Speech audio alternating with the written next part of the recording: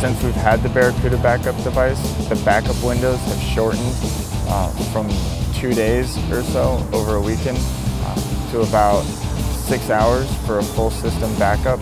We've kind of forgotten about what downtime would be like uh, because it's just so quick now. Live boot allows me to quickly power machine back on should it fail.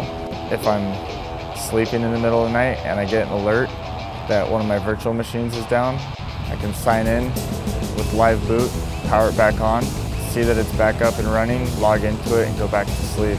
And so my private life becomes my private life again.